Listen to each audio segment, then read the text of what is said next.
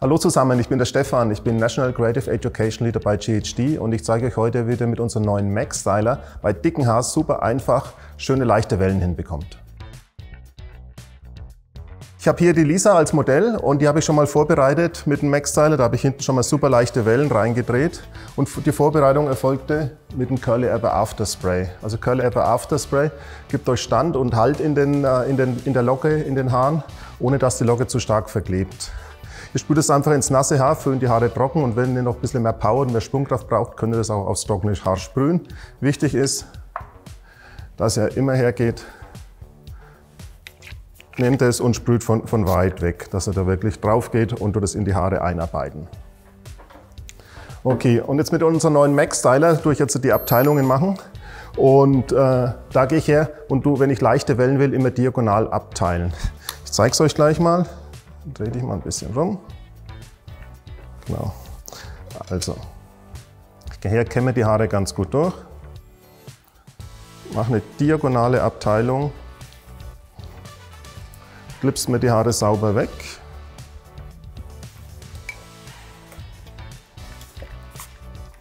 Jetzt gehe ich her und ziehe die Haare schräg nach hinten. Ich habe meinen Daumen unten, ich drehe die Platten, zwei, dreimal drehen und gehe schräg nach hinten. Seht es? Dass ihr eine weiche Welle habt mit einer soften Spitze. Und so arbeite ich mich nach oben weiter.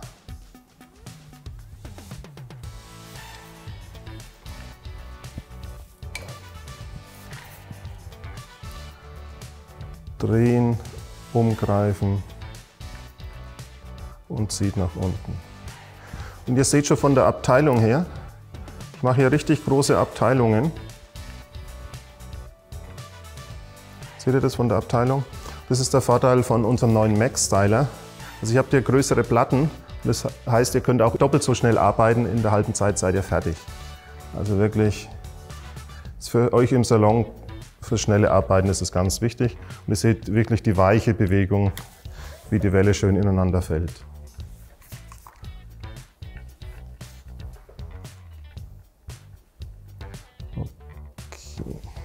Also, ihr seht jetzt auch wieder eine diagonale Abteilung.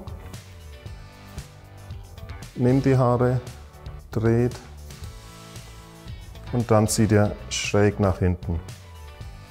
Und wie gesagt, das Wichtigste ist, dass ihr hier eine schöne leichte Außenbewegung hinbekommt mit, einer, mit einem soften Ende. Hier oben machen wir noch zwei draus.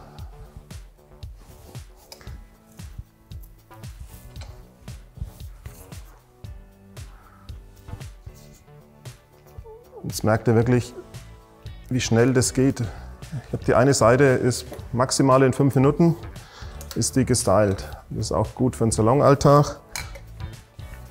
Könnt ihr wirklich zügig mitarbeiten und habt schnell schöne, gute Ergebnisse. Okay. Also jetzt die eine Seite ist jetzt nicht fertig, hinten habe ich euch schon vorbereitet. Und wenn ich jetzt die eine Seite fertig gemacht habe, noch nicht gleich durchkämmen, erstmal ein bisschen auskühlen lassen. Das ist ganz, ganz wichtig. Und jetzt gehen wir her und drehen uns mal auf die andere Seite. No, stopp, genau. Okay, und da haben wir genau dasselbe. Jetzt tun wir aber in die andere Richtung abteilen.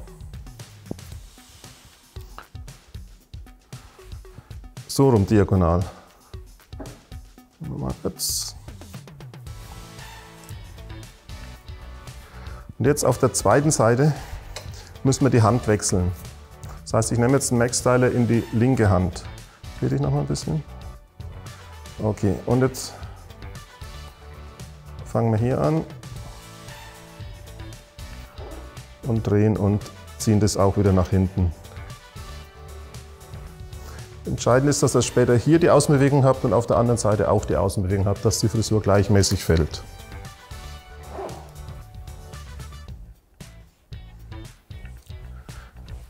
Immer wichtig, diagonale Abteilungen.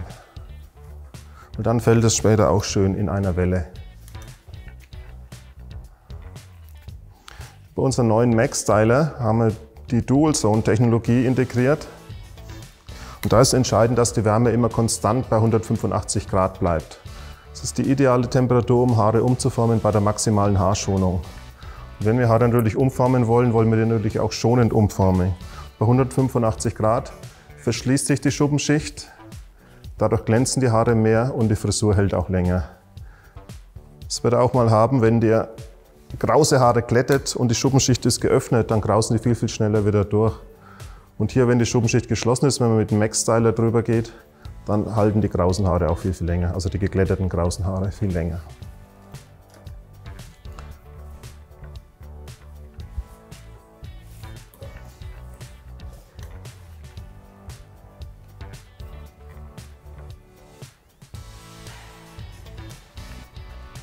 Ihr seht das jetzt auch schon, das was ich gesagt habe, am Glanz von den Haaren. Ja? Also wenn da mal ein, Un, wo ich ein Haar nehme, wo ich nicht mit dem Styler drüber bin, es ist nicht so glänzend, als wenn ich jetzt hier bei der Locke äh, ein äh, gemachtes Haar habe, wo die, ich mit dem Styler drüber gegangen bin. Dann glänzen die Haare richtig schön.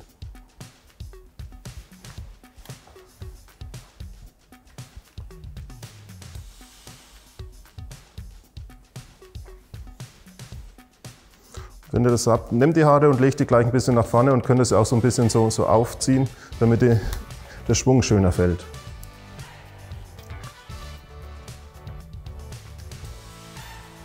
Auch hier jetzt nehme ich mal zwei Passés.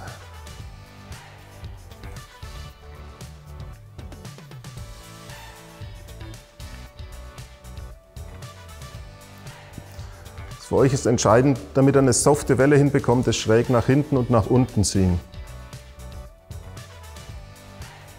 Ich zeige es dir mal vom Style. Also der Weg ist immer nach unten, parallel zur Abteilung, dass ich auch nach unten ziehe. Würde ich jetzt gerade rausziehen, dann lockt sich die Spitze so, zu stark.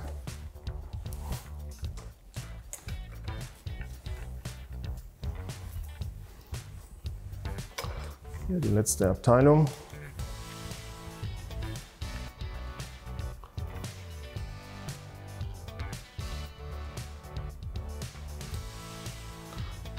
Okay, also ihr seht jetzt schon auch von der Abteilung, wenn ich da hinschaue, wie das fast gleichmäßig in, in der Welle fällt, ohne dass ich es ein bisschen ausfrisiert oder durchgebürstet habe. Jetzt, wenn wir dann ausfrisieren, dann wird es wirklich ganz ruhig in der, in der Welle fallen. Okay. Also meistens ist es so, wenn ich jetzt die, die Locken gemacht habe, dann ist die Frisur noch nicht fertig. Dann muss ich das erst ausfrisieren das ist oft eine Schwierigkeit. Und da gehe ich einfach her, ein bisschen nach hinten, reicht so. Jetzt ganz leicht mit dem Kopf zurückgehen. Ja. Jetzt geht er her Geht einfach mal mit den Fingern durch.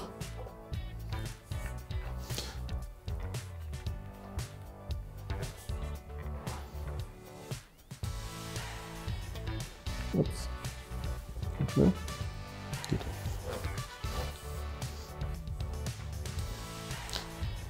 Jetzt einfach mal zurückgehen. Und das seht ihr jetzt schon, jetzt habt ihr hier wahnsinniges Volumen in den Haaren drin. Ja? Also ist einfach mal wild, dass es wild aufgeschüttelt ist. Ja? Wenn ich da jetzt vorne reinschaue, ist wirklich, ich drehe euch mal kurz. Für mich ist entscheidend diese Linie, dass die Haare hier gleichmäßig aus dem Gesicht rausfallen. Ja? Und das ist der Grund, warum wir das diagonal abteilen und die Bewegung auch nach hinten machen. Ja? Ich will es jetzt aber nicht ganz so wild, sondern ich gehe jetzt einfach mal mit dem äh, Kamm her und kämme das mal ein bisschen durch, dass es ein bisschen softer fällt.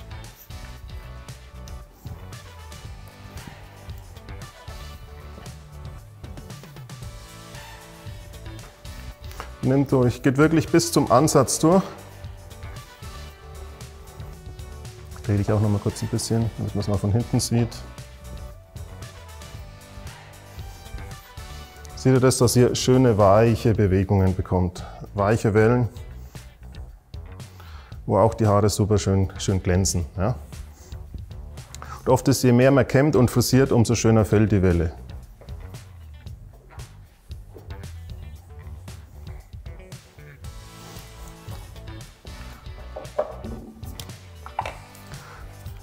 Wenn ich hier noch in glanzende Haare will, nämlich Shiny Ever After, gehe nur mit der Hand über die Strähnen drüber und beruhige mir die Frisur.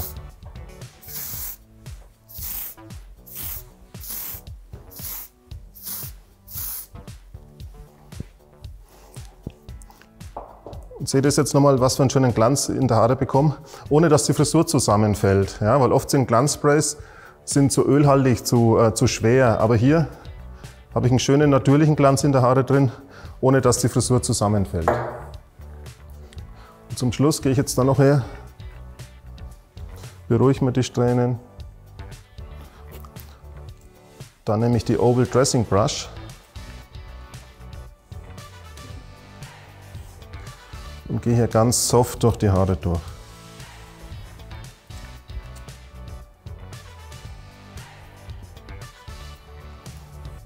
Zum Schluss wirklich nochmal mit der Finger durchgehen. Ich brauche jetzt mal einen Spiegel. Genau.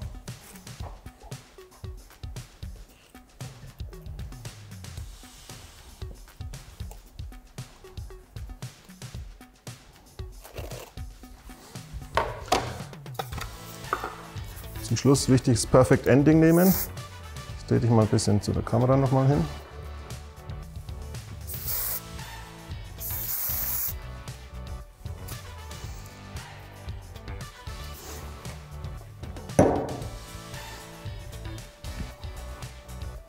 Auch hier locker durchgehen.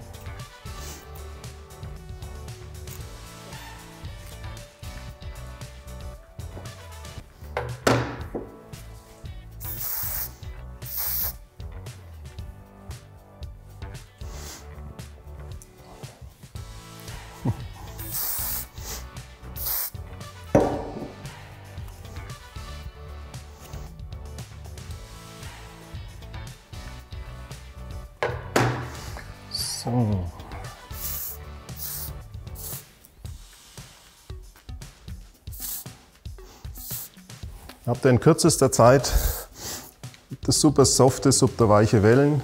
Falls euch das zum Beispiel zu, zu schön ist, zu sauber ist, sage ich mal, dann könnt ihr das wieder ein bisschen aufschütteln. Aber ist gerade für einen festlichen Anlass, ist es genau die richtige, die richtige Frisur. Okay, das ist jetzt mein Look mit dem neuen Max-Styler. Ihr seht super schöne, softe Wellen, ja, mit einem schönen Glanz in der Haare und wieder die wirklich in ja, so eine Frisur in 10 Minuten hinbekommt. Ja. Ich hoffe, es hat euch gefallen und äh, ansonsten folgt uns auf Facebook, auf Instagram oder auf YouTube. Vielen Dank, ciao, ciao.